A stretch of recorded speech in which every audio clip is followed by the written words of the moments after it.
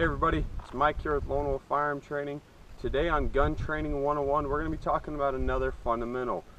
One of the more important fundamentals is proper sight alignment or aiming.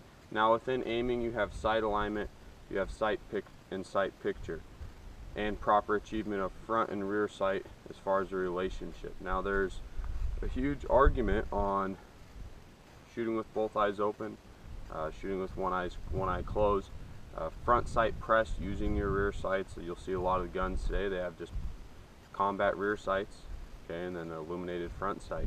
There's a bunch of different styles and methods, but today I want to just talk about the fundamentals if you're getting started in shooting on how to have proper sight alignment and achieve proper sight alignment for target shooting, and then at the end I'll relate it to defensive shooting, combative style shooting on what you need to do for that.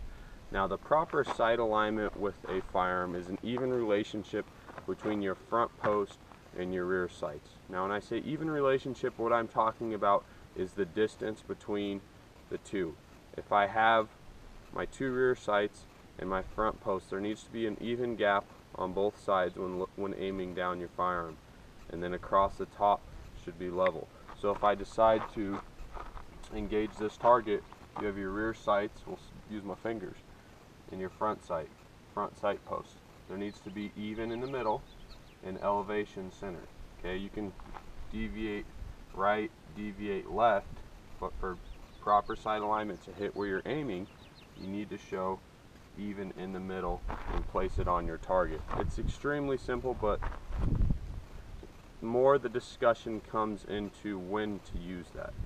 Now, for me personally, majority of the training we do now is uh, defensive concealed carry, uh, quick response, shooting, engaging your target, where you don't have as much time to properly align your sight. That doesn't mean I don't recommend training this way. Uh, I'm all about the aim small, miss small method.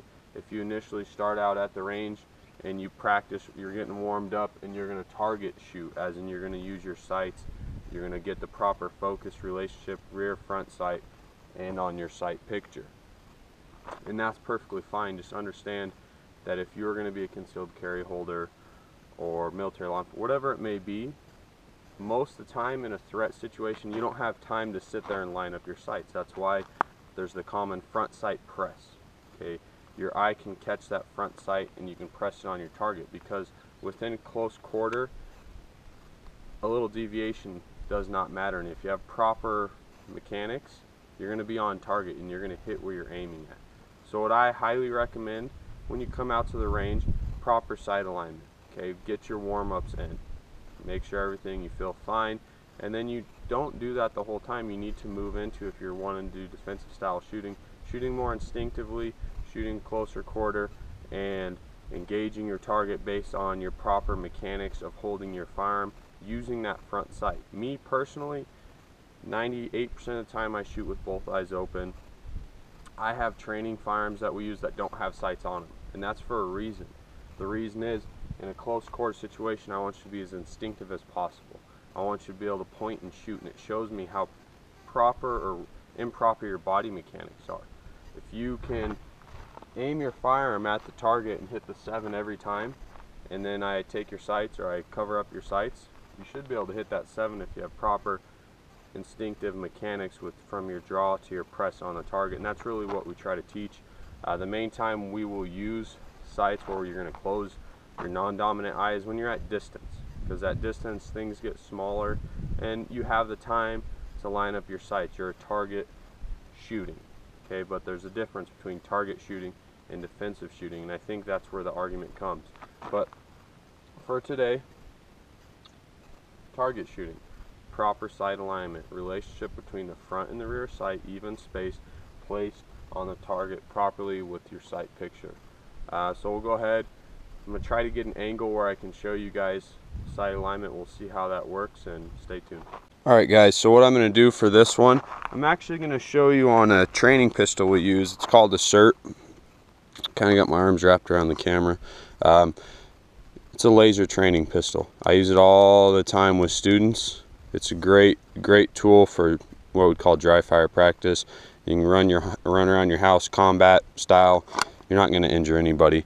Um, so what I'm going to do, I'm going to attempt to show you proper sight alignment uh, with this through the camera so I can get that focus just so you guys can get an understanding of where I'm coming from. I'm going to shoot him in the hip. Um, but that's what you're looking for. Now these combat style blacked out rear sights, they are actually good for close quarter if you're going to be focusing on front sight press. At a distance shooting they can be a little bit more difficult but that doesn't mean there's anything wrong with them. It's just a different a completely different style of training. But like I said rear sight front sight proper spacing of the front post to the rear even spacing and flat across the top. One thing I've also done with shooters um, with like target rears is we'll take a little piece of tape and put it across the top. So there's still that window and that allows to gather their focus almost like a peep to really focus that target front sight in between the rear post. It's just a different tip. Um, once again you guys thank you for joining me. Stay tuned. We're going to get into trigger control and follow through in our next videos. Hope you have a great day. It's Mike from gun training 101 we'll see you soon